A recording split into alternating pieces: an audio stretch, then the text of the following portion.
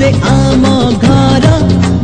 ସହର ଠାରୁ ଅନେକ ଦୂର ନାହିଁ କାହାର ଡ